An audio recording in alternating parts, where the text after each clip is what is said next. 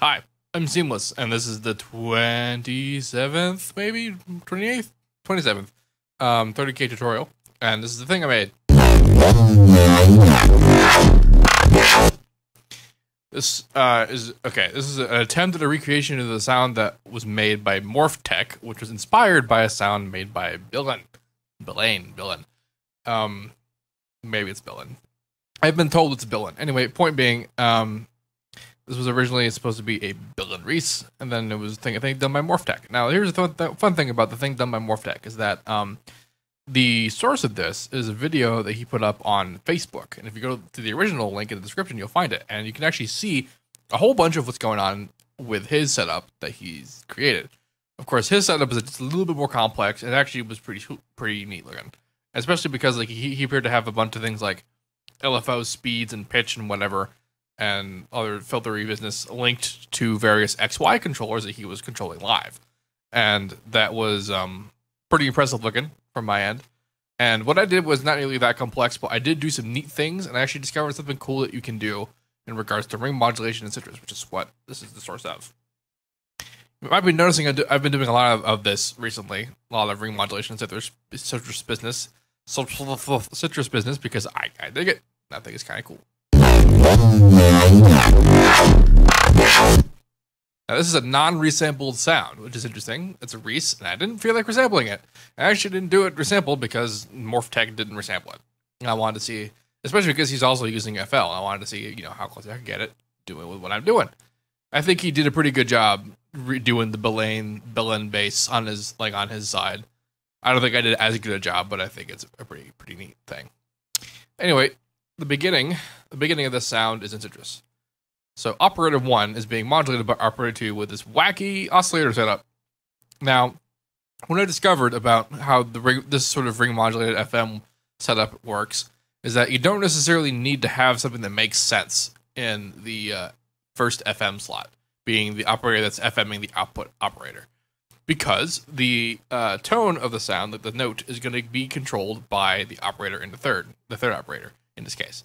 So it's this set up with a half and even and uh almost, actually completely this is totally a saw wave. It's up with the saw wave amount and there's a little bit of uh uh like a like sloping tension added there and the phase is set slightly off.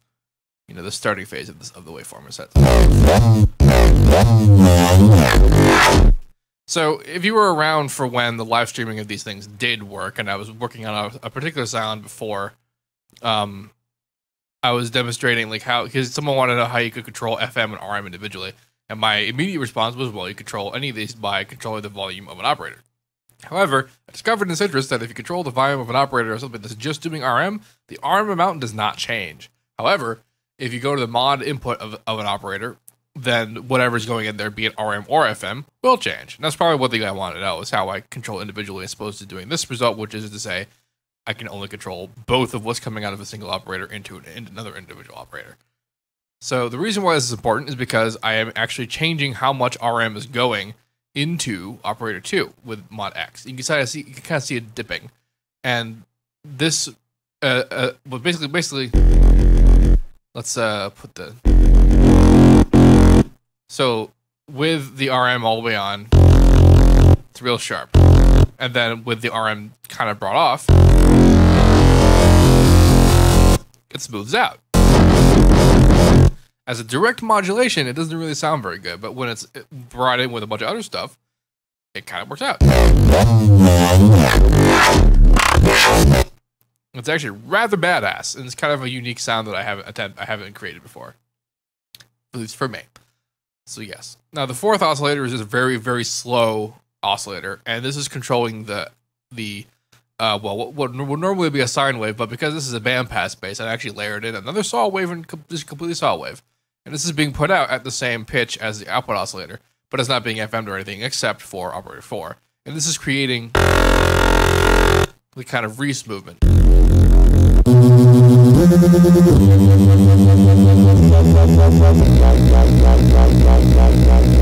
It's a result of operator 4 changing the pitch of the saw wave as it gets put out.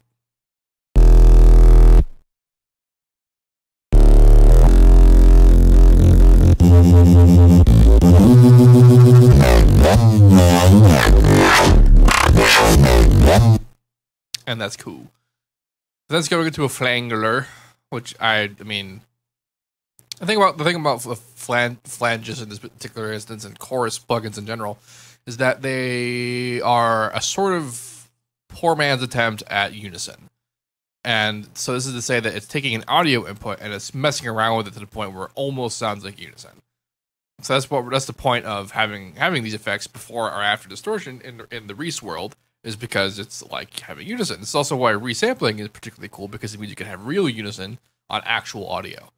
But um, so in this example, I have I have three I'll order three low depth, uh, low, speed, low delay, high spread, and cross. Now here's the thing about the crossover. The crossover basically determines the stereo width of the sound. So I just kind of mess around with that. And then we can have the dry and wet mix, and this is just set to taste. Here, so then I have an EQ that's being the bandpass. I don't really know why I prefer doing it with an EQ, but I do, so I do. And then I have another EQ just for color shaping. It's going into a wave shaper, which without it, this is what it sounds like. Still pretty similar, but not as crunchy. It's going into a Maximus. Now, here's here's some fun things that are going on with the Maximus. This is the compression waveform that I have going. Uh, yeah, the wave shaping. I'm using it as a wave shaper because as you see, I have all all the time variables off for the high, except for the low and high delay because I still want them on a mid and low. But it's low enough that is the high frequencies are effectively being uh, wave shaped as as normal the way normal wave shaper would work because the normal wave shaper and the way that the Maximus works is more or less the same, except that this has no no attack or release or any of that. But Maximus, you you have an option of having attack release or any of that. So that's what I'm doing there.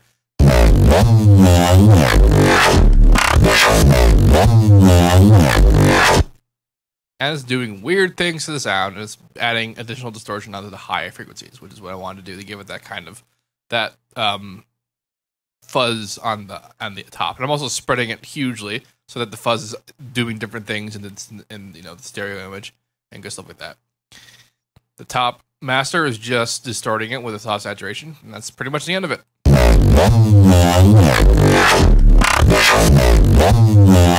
None shall pass. What? None shall pass. That's how that, that's how that reminds me of.